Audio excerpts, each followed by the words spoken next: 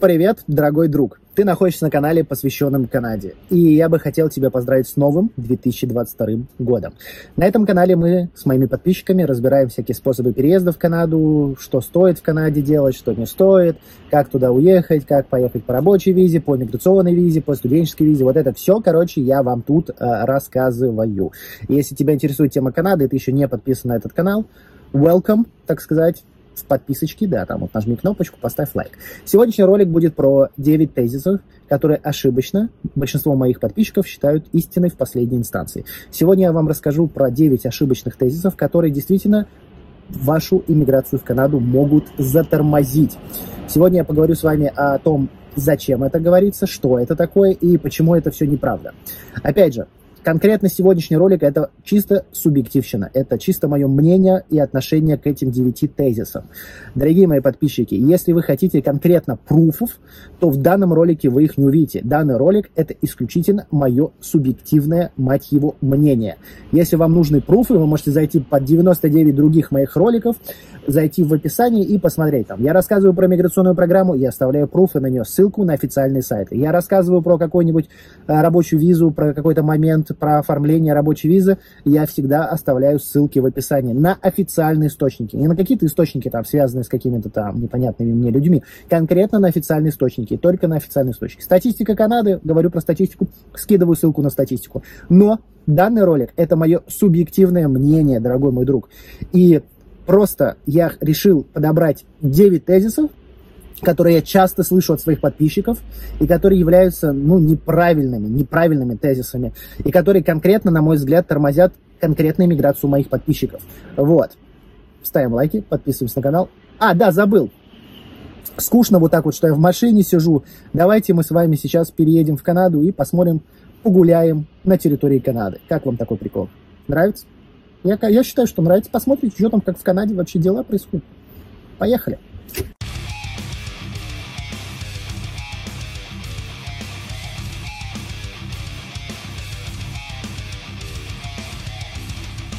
Дорогие друзья, я тут ролик уже записал и подумал, что еще один момент, который должен каждый из вас уяснить. Это очень важно. Возможно, этот момент будет э, в минус мне, да, но это будет в плюс вам. Сейчас объясню. А, резюме для поиска работы в Канаде, в Канаде вы можете делать самостоятельно. Если вам кто-то говорит о том, что вот, только взяв, там, заказав резюме у меня, ты завтра найдешь себе работу в Канаде, это чушь собачья. Вы можете все делать самостоятельно. Вас никто ни к чему не принуждает. Ну, по крайней мере, на этом канале. Я рекомендую сделать все самостоятельно. Самостоятельно. Пожалуйста, дорогие мои друзья, чтобы не было потом Э, вопросов ко мне, чтобы не было таких, такой фигни типа, а, да ты там специально канал ведешь, чтобы там резюмехи там продавать, там лавешка мутится, бабосики крутятся и тому подобное. Короче, официальное заявление от э, канала к вам резюме для поиска работы на территории Канады, вы можете делать самостоятельно. Вы его можете сделать, я уверен в вас, это сто процентов. Бывают случаи, мне ребята присылают свое резюме, говорят, Ваня, смотри, я нашел работу, делал резюме сам. Много ребят видел в чатах у меня в телеграм-канале, кстати, кто не подписан, подписывайтесь, тоже говорят, я сделал сам резюме, нашел работу на территории Канады. Я записывал интервью с подписчиками, которые нашли работу в Канаде самостоятельно, делай резюме самостоятельно. И я как бы об этом постоянно говорю. Если подписчик сделал сам себе резюме и нашел работу, мы сделаем с ним интервью, я говорю, подписчик все сделал сам, подписчик молодец. Я тут никакого отношения не имею. И таких случаев тоже много. Дорогие мои друзья, просто это тоже запомните. Это вот тезис вне тезисов, о которых я вам сказал. Чтобы вы просто потом, ну там, что-то не подумали лишнего по поводу того, что я вдруг что-то вас пытаюсь как-то вас там это там нагнуть. Все можно делать самостоятельно. Ну а теперь продолжаем ролик. Поехали. Дорогие друзья, я подготовил 9 тезисов. Эти 9 тезисов являются распространенными ошибками или распространенным мнением о переезде в Канаду, которые, на мой взгляд, считаются, ну, не очень-то правильными. Опять же, весь этот ролик — это чистая субъективщина. Весь этот ролик — чистая субъективщина, к которой я вот дошел за свои годы, так сказать, э, лазения по сайтам Канады, разбиранием вот этих всех систем иммиграции и тому подобным.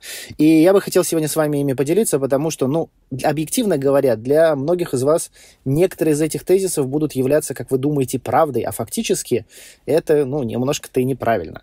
Начнем, э, ребяточки, с первого тезиса и с первой ошибки, о которой думают многие мои подписчики – Звучит она так. Поеду по туристической визе в Канаду, и останусь. Или на месте разберусь, там, найду работу и тому подобное. Ну, начнем разбирать этот тезис. Для того, чтобы уехать в Канаду по туристической визе, надо сначала ее получить. Не каждому из вас ее вот так сходу дадут. Туристическую визу в Канаду получить возможно, но это тоже сложно. Надо убедить правительство Канады, что ты приедешь, посмотришь страну и уедешь. Опять же, мы сейчас не говорим про людей таких, как я, например, которым туристическая виза в Канаду вообще не нужна. У меня израильский паспорт, я могу спокойно поехать, мне не нужна вообще виза. Э, ну, нужна электронная, если я лечу на территорию Канады на самолете, или если я въезжаю с территории Америки, мне даже электронная виза не нужна, я могу спокойно просто проехать. Но для 99% моих подписчиков это, ну, проблемочка. Это большая-большая проблемочка. Вот. Но представим картину, вы получили эту туристическую визу, вы приехали в Канаду, что же вы делаете дальше? Правильно, вы интенсивно тратите свои накопления, потому что надо снять жилье, и как ты останешься? Как? Ну, по туристической визе ты не имеешь права работать официально. Будешь искать работу, не факт, что ты быстро найдешь работу. Опять же, многие из моих подписчиков э, делают, ну, неправильный для меня вот способ. Они приезжают на территорию Канады, начинают интенсивно искать работу, кто-то остается там работать в черную, что приводит к тому, что людей потом ловят, проверяют их иммиграционный статус. Это, конечно, редко, но, возможно, вас могут поймать и проверят ваш иммиграционный статус, узнают, что, не дай бог, вы нелегально находитесь в Канаде, вас выгонят из страны и скажут, аля, улю, э, мальчик, иди отсюда нафиг. И еще бан повесят. Некоторые, конечно, делают более хитрым способом, едут по туристической визе, отучаются на дальнобойщика в трак-школе, и потом после этого находят себе работу спокойно и работают э, дальнобойщиком. Такое есть, но это дорого. Я просто к тому, что для 99% моих подписчиков вариант «останусь Канаде по туристической визе, он нереален в связи с тем, что не хватит денег, просто физически не хватит денег, а половине из них просто не дадут банально туристическую визу, потому что подумают, что ты там хочешь задержаться, да. Туристическая виза, повторюсь, она нужна исключительно для тех случаев, чтобы поехать на территорию Канады, посмотреть Канаду в туристических целях. Вот, это главное, что вы должны запомнить. Поэтому этот тезис, он ошибочный. Мы едем дальше. Второй тезис, который тоже является ошибочным, но большинство моих подписчиков считает, что это вот прям правда 100%. Чтобы уехать в Канаду, надо найти там работу. Да, многие программы иммиграции требуют от вас job offer. Да, многие требуют, но не все. Существуют программы иммиграции, где job offer не нужен. То есть фактически, да, есть программы, для которых нужен job offer, а есть программы, для которых не нужен job offer. Я на нашем канале, уже на нашем, не на моем, на нашем, потому что нас много, на нашем канале постоянно говорю о программах иммиграции, для которых job offer не нужен. И я рекомендую знакомиться с моим каналом. То есть фактически есть программы, действительно, по которым не нужен job offer. Опять же, там, конечно, более сложные требования к английскому языку, надо с собой деньги привезти, бла-бла-бла и тому подобное. Но Существуют способы переезда в Канаду даже без джоб-оффера. Это надо запомнить, ребяточки. Это вот ошибочное мнение, что вот, блин, без рабочей визы, без поиска работы на территории Канады в Канаду не уехать. Конечно, правительству Канады выгоднее брать людей, которые там сразу приезжают работать, либо те, которые уже поработали на территории Канады. Для них это выгоднее, потому что такие люди, они уже интегрировались, так сказать, в систему э, Канады, они знают, что да как, и либо сейчас вот приедут и уже сразу начнут работать и зарабатывать свои деньги. Э, такие люди выгоднее. Но существует программа и без этого, без джоп-оффера. А, следующая вообще это отвратительная тема, это иммиграция в Канаду, это легко. Ребят, э, все относительно. И, наверное, вот из-за этого тезиса, это вот э, главная моя ошибка, я некоторые ролики называю типа легкая программа иммиграции. Но, опять же, почему я так называю? Очень все просто. Я открываю и смотрю, что по отношению с другими программами миграции, данная программа, о которой я пишу этот ролик, она, например, легче. Поэтому я называю она легче. То есть у меня был ролик сейчас на канале э, про программу миграции, где требуются специалисты категории НОК С или Д. Для них даже хватит просто школьного образования. И, следовательно, я ролик назвал там типа легкая программа миграции.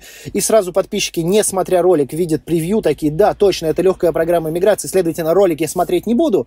Не буду понимать, зачем он, подхожу я по этой программе или нет я просто теперь буду считать, что легко эмигрировать в Канаду. Для кого-то в Канаду эмигрировать легко. Для кого-то это, ну, это очень сложно, это очень долго и это очень муторно. Каждый человек индивидуален. Для каждого что-то легко, а для каждого что-то тяжело. Это нормально. Поэтому мое мнение учитывать по поводу легкой программы или нелегкой не стоит. Вот. Так что запомните, легких программ не бывает.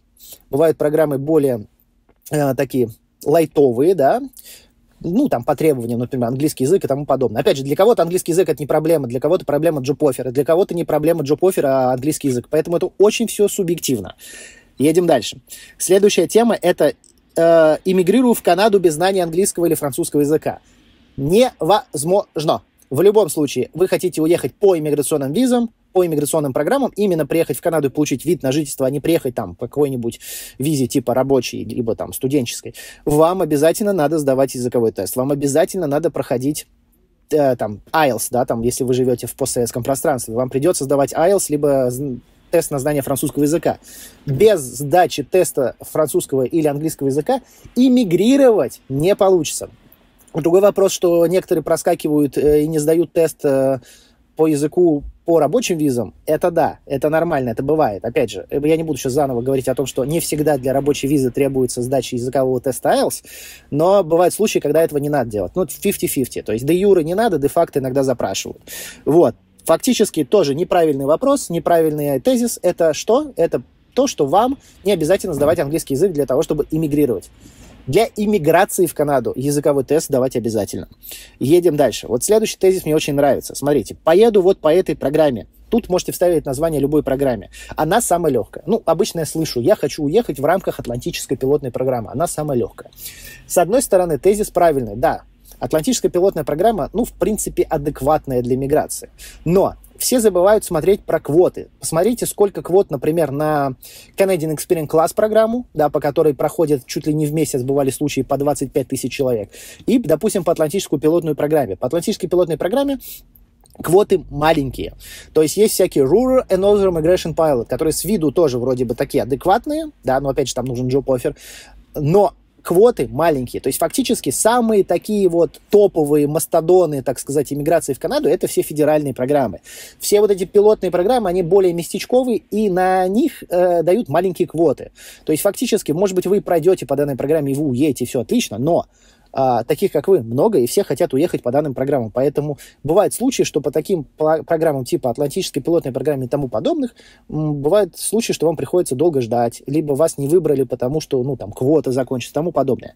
Это, опять же, к вопросу о том, что надо разбираться просто в иммиграционных программах. Следующий тезис, который меня просто забавляет, удивляет, и я постоянно о нем слышу. Иммиграционный консультант сказал мне, что за 100-500 тысяч долларов поможет мне на 100% получить вид на жительство Канады. Если вам такое говорят, я просто хотел бы сказать, что вы просто перестанете с таким человеком разговаривать, потому что на 100% получить вид на жительство Канады э, вам никто не даст гарантию. То есть, ну, вам могут помочь с документами, вам могут помочь с описанием программы, вам могут помочь э, проконсультировать, по какой программе конкретно вам ехать. Это, да, это нормальное явление, у консультантов бывают такие э, моменты, то есть они, они на этом зарабатывают, э, вот, то есть они берут там, твои водные, и начинают их смотреть, говорят, нет, вот вам надо по этой программе ехать, по этой вам не стоит. Вот. Ну, фактически вы это все сами можете разобрать э, на сайте canada.ca. Вот. Так вот, когда вам кто-то обещает за стопроцентную гарантию на иммиграцию в Канаду, бегите от такого человека. Это мой вам совет. Дальше. Следующий тезис. Для иммиграции в Канаду мне не нужны деньги. А, вот здесь вот тоже камень преткновения. Кто что имеет в виду под словом деньги? Кто-то считает, что он сидит там в усть Зажопинске у разбитого корыта и ждет, что правительство Канады а, привезет его в Канаду, поцелует его в жопку. Нет, такого не будет. Ребят, смотрите, разные программы миграции требуют разные финансы. То есть некоторые программы миграции требуют, чтобы у вас был proof of found. А, это значит фигня, которую ты должен показать, что у тебя есть неопределенное количество денег на банковском счете для переезда в Канаду. Это делается для чего? Для того, чтобы ты, э, приехав в Канаду, не стал бомжом, а начал там, хотя бы там, с квартиру себе снял, там, еды себе купил на первое время, пока ты себе там ищешь, например, работу. Вот. А, только что банально тебе нужно просто будет купить, блин, билет. Ну, то есть без билета тоже ты никуда не денешься. Тебе надо прилететь в Канаду. Никакая Канада не будет оплачивать тебе билет. Это не Израиль. Это в Израиле, понятно, ты когда репатриируешься, тебе э, оплачивают билет до Израиля из любой точки мира. Еще из аэропорта в любую точку Израиля бесплатное такси. Но мы же говорим про Канаду. В Канаде такого, конечно, нет. Вот, поэтому в любом случае деньги нужны. Вопрос только в одном. Сколько нужно денег? Э, и тут вопрос встает просто в выборе программы либо способ способы переезда. Ну, самый экономичный способ, на мой взгляд, переезда, это сначала, допустим, поехать по рабочей визе, а потом подаваться в рамках, в рамках Canadian Experience Class программы. Потому что для Canadian Experience Class программы не нужно как раз показывать вот эти финансы, потому что ты уже находишься на территории Канады, ты работаешь, значит, ты точно не бомж. Вот. Это, опять же, мое субъективное мнение, каждый может подумать, э, как-то проработать свою какую-то программу. Просто заходите на сайт Канады, смотрите программы иммиграции, смотрите, какие требования по финансам. Дальше. Следующий тезис меня просто забавляет. Перееду в Канаду, сразу канадское правительство начнет мне помогать, давать денег, жилье и работу. Э, ребят, э, вы переезжаете в Канаду, а не в рай на земле. Это та же обычная страна. Ты приехал в Канаду, ты должен сам разбираться со своими проблемами. Никто тебе не будет помогать. Канада тебе дает право получать хорошую заработную плату, жить спокойно, тихо, размеренно, без всяких там проблем, просто спокойно, нормально жить. Не, это не рай на земле. То есть многие приезжают, и у них разбиваются розовые очки, потому что, ну как, ну я же хотел, чтобы мне Канада бесплатно давала миллионы долларов, а она мне не дает.